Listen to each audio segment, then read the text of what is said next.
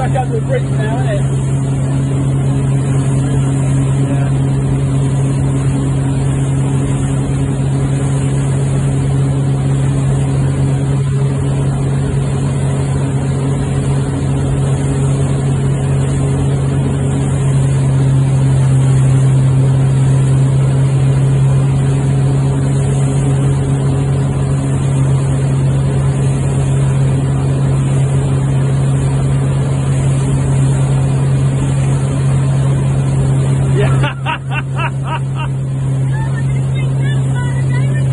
longest wave you'll ever have.